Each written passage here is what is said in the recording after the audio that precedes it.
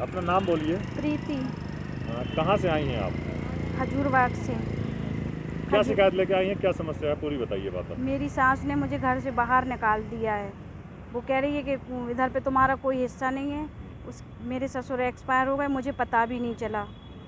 मैंने कहा कि मेरे ससुर मुझ- मुझे बताया क्यों नहीं है आप लोगों ने? तो कहने लगी तुमसे कोई रिश्ता नहीं है। जाओ इधर से मुझे निकाल दिया घर से बाहर। और मेरा हिस्सा है वो भी नहीं देना चाह रहे हैं। दो बच्चे हैं मेरे मैं बहुत परेशान हूँ। मैं कहाँ पे रहूँगी अपने मायके में? मैं कहाँ कब तक रहूँगी? मेरे बच्चों की पढ़ाई लिखाई नहीं हो पा रही है। तो फिर आपने हाँ, कहीं केस वगैरह नहीं किया?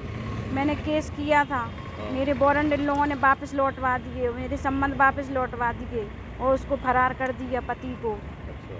जी। अब आप यहाँ पुलिस से क्या चाहती हैं यहाँ? मैं पुलिस से ये चाहती हूँ कि मुझे, मेरे बच्चों का हिस्सा दिलवाया जाए और जो मेरा मकान है मेरा हिस्से का, वो बिल्कुल बेचने ना दिया जाए। वो लोग बेच ना पाएँ।